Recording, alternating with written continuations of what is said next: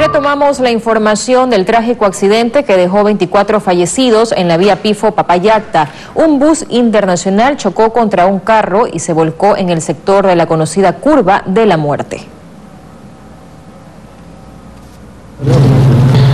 El ECU 911 recibió la llamada de emergencia a las 12 de la mañana con 55 minutos de este martes 14 de agosto. Reportaban el volcamiento de un bus internacional de la cooperativa Cotrans en el kilómetro 8 de la vía Pifo Papayacta en la provincia de Pichincha, en la conocida curva de la muerte. Según información de la Policía Nacional, el bus chocó contra una camioneta y luego se produjo el volcamiento que terminó afectando también a tres viviendas del sector, pero el primer impacto se dio con un vehículo tipo Trooper, es decir que en total fueron dos choques con el mismo bus internacional. En el kilómetro 10 hay eh, una, una, huella de arrastre de aproximadamente un kilómetro, eh, un vehículo, un vehículo.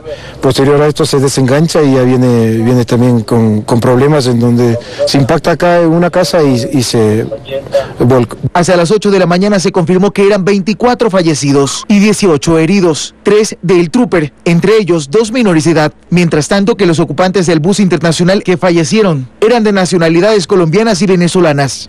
Estamos determinando en primeras instancias una tipología, en este caso mencionamos que eh, recurre a una pérdida de carril de circulación, estrellamientos.